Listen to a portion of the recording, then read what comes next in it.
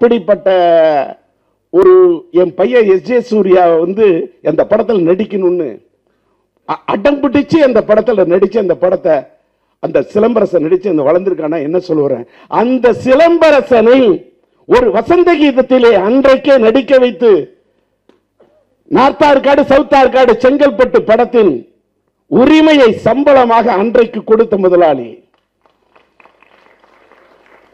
அவங்க வீட்டு பிள்ளைக்கு அவருடைய இன்னைக்கு ஒரு ஒரு வாழ்க்கையில பாருங்க இந்த படத்தில் ஒரு ரெண்டு ஒற்றுமை இருக்கு. கிஷன் ஆளாகணும் என்பதற்காக இந்த அவருடைய ஜெயந்தா ஜெயந்தருடைய புதன் பதம் செய்த பதம் சாரா இருக்கட்டும் அந்த அருகந்தா இருக்கட்டும் கிஷன் அந்த அந்த பிள்ளைகளுக்கு அப்பா இல்லைனால் அந்த ஸ்தானத்தை நிறைவேற்றி தர வரேன்னு சொன்ன ஒரு சித்தப்பா. இல்லாமல் இருக்கலாம் பெத்தப்பா நான் வந்து நிக்கிறேன்னு சொன்னார் பாரு சித்தப்பா. அதே மாதிரி என்னுடைய கோபுரத்தரோட அண்ணனோட பிள்ளைங்க தான் இந்த வைத்திய இந்த வை- வைத்திய ஈன்றெடுத்த இந்த இளன் இந்த ரெண்டு ப- ப- பசங்க கணேஷும் முத்தும். அவர்களுக்கு நான் சித்தப்பா. ஒரு பக்கம் அந்த சித்தப்பா நிற்கிறார் இந்த பசங்களுக்காக இந்த சித்தப்பா நிற்கிறார். நான் அடுத்தவங்களுக்கு பாட்டை எழுதுறது என் படத்துக்கு மட்டும் எழுதிப்பேன். என் பையன் சிலம்புகிட்ட சொல்லுவேன் புது ரைட்டர்ஸ்க்கு வாய்ப்பு கொடு. என் நண்பர் கவிஞர் இளங்கோ கூட ஒரு பதிவு போட்டாரு. சிலம்பு படத்தில் நீ இள- யங்ஸ்டர்ஸுக்கு இளைஞர்களுக்கு வாய்ப்பு கொடு. என் படத்துக்கு நான் எழுதிக்கிறேன். ஆனால் இந்த படத்தோட பாட்டை நான் தான் எழுதணும் ஒத்த கால நின்று பாட அது உண்மையிலே இந்த டைரக்டர் விஜயா இருக்கட்டும் கிருஷ்ணனாக இருக்கட்டும் இந்த படத்தில் பணியாற்றின நான் சொல்கிறதுக்கு டைம் இல்லை வேணாலும் சொல்லலாம். எடிட்டர் த டிஓபி குறைத்த செலவு இந்த பாட்டு நான் சொன்னேன். பாட்டு நல்லா எடுத்துக்கிறீங்கப்பா. இந்த பாட்டை ஷூட் பண்ணுங்க நல்லா செலவு பண்ணி. உனக்கு ஏதாவது பிரச்சனைனா நான் சந்திரபாஜியன்ட்ட கூட பேசுறேன். முதலாளிட்ட சொல்றேன் பாட்டை. அவரும் சொல்லியிருக்காரு. பாருங்க போத் ஆஃப் us இந்த சேம் போட் என்று ஆங்கிலத்தில் ஒரு பழமொழி சொல்வார்கள். அவரும் சொல்லியிருக்காரு. இந்த பாட்டு நல்லா இருக்கும்னா நல்லா ஸ்பெண்ட் பண்ணிடு.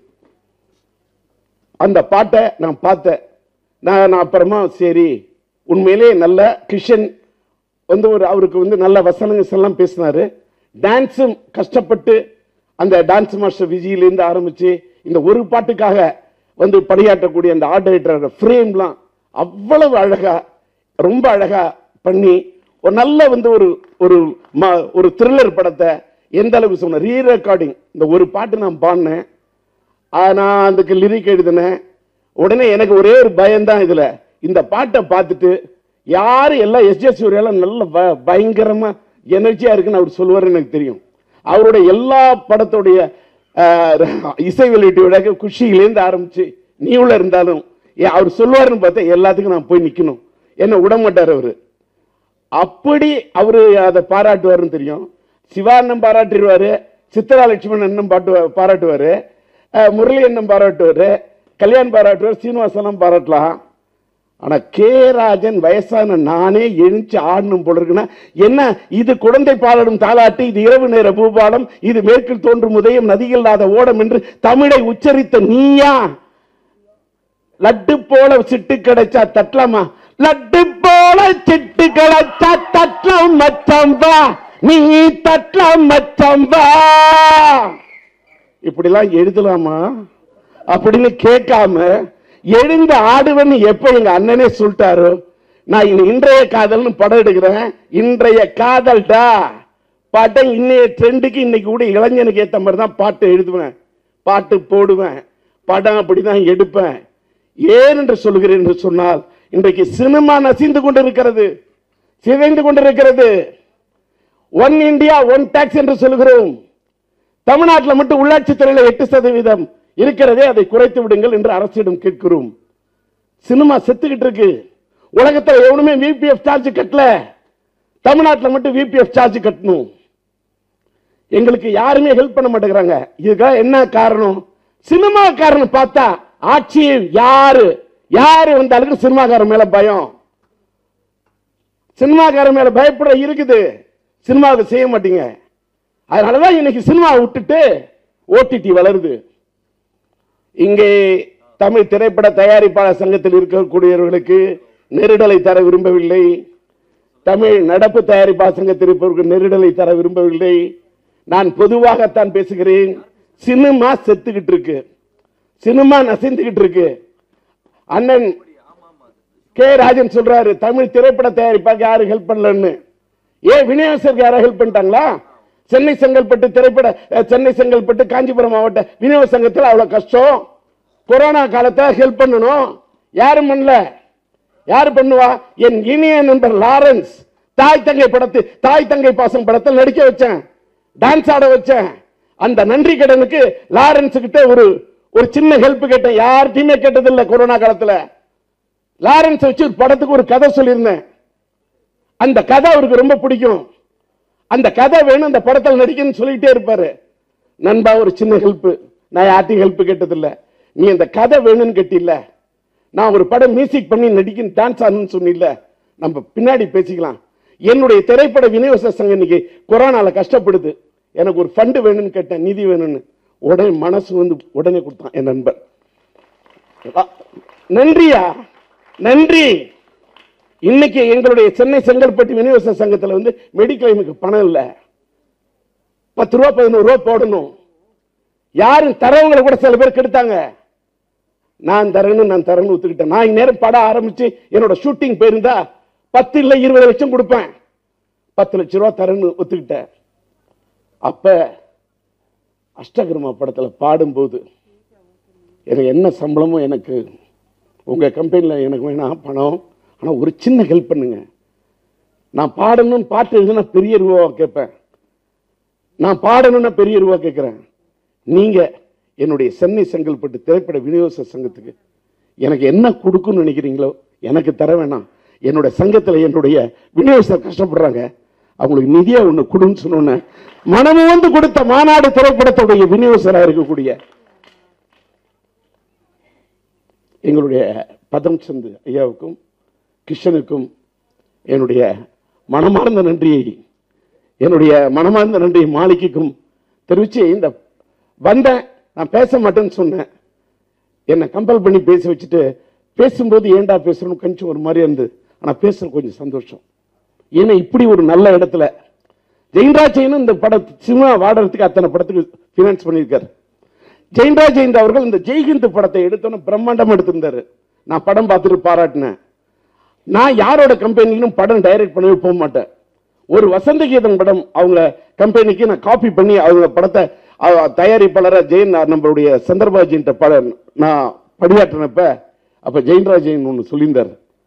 எங்கள் கம்பெனியில் நீங்கள் ஒரு படம் டைரக்ட் பண்ணும் அவர் சொல்லியிருந்தார். அது வந்து பதம் சாருக்கு தெரியும் கிருஷ்ணனுக்கெல்லாம் தெரியுமான்னு எனக்கு தெரியாது. அந்த கம்பெனிக்கு எனக்கு மிஸ்ரி ப்ரொடக்ஷனுக்கும் மிஸ்ரி என்டர்பிரைசஸ் இந்த கம்பெனி எனக்கு ஒரு தாய் வீடு மாதிரி. இந்த கம்பெனிக்காக என்னுடைய நான் பேச முடியாது பேச மாட்டேன் என்று தொண்டை வறண்டு இருந்தால் கூட திரண்டு இருக்கக்கூடிய இந்த கூட்டத்துக்காக வறண்ட தொண்டையை வைத்துக்கொண்டு முடிந்த அளவுக்கு நம்ம சொல்லுது அவருக்கெல்லாம் படத்துல அவருக்கு வந்து கொரோனா வந்துருச்சு பயங்கன்னு. எனக்கா பயமா?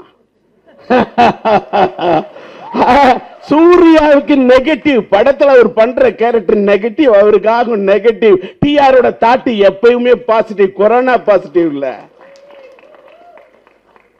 அதனால நான் தைரியமா நான் எப்பயுமே தைரியசாலி. நான் சித்தனை நம்பக்கூடியவன். நான் கர்மாவை நம்பக்கூடியவன். நான் சினிமாவை மட்டும் நம்பக்கூடியவன் இல்ல.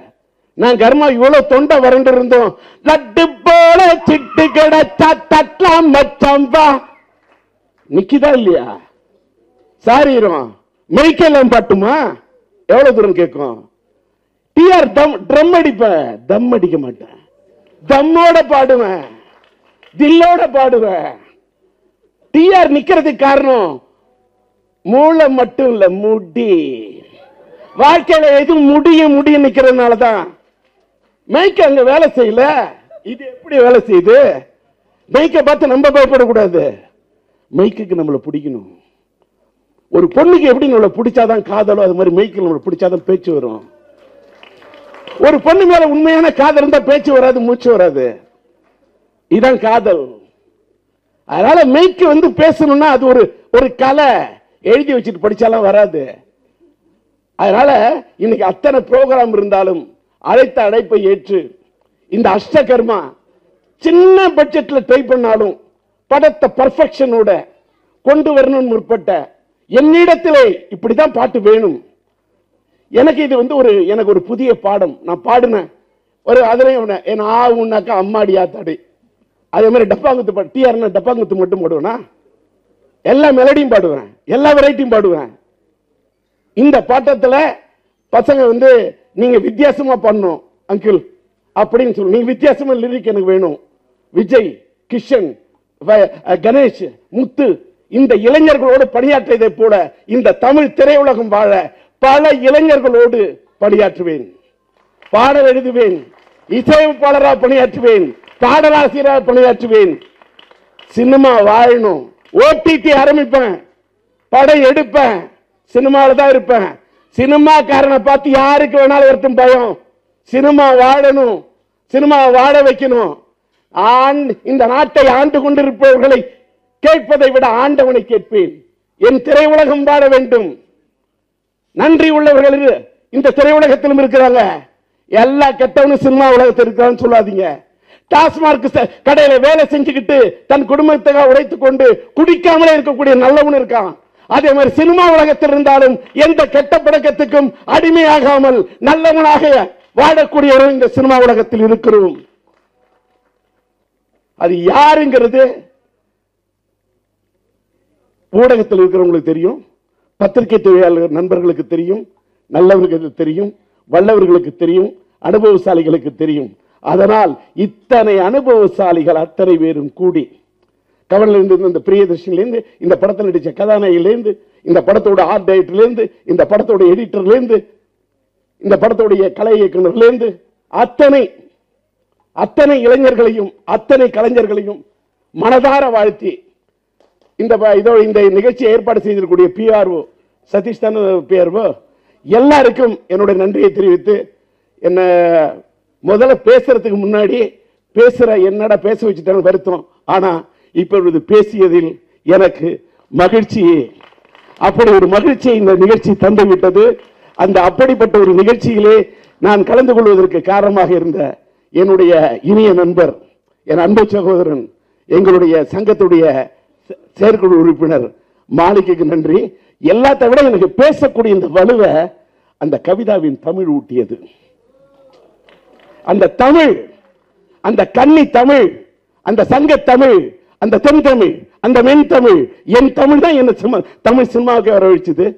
அந்த அம்மா அப்படிலாம் கொஞ்சம் கவிதையாக சொன்னேன் சரி மெய்க்கு பிடிச்சிருவோம் அப்படின்னு பிடிச்ச நான் பேசுறது உங்களுக்கு பிடிச்சிருந்தா இறைவனுக்கு நன்றி.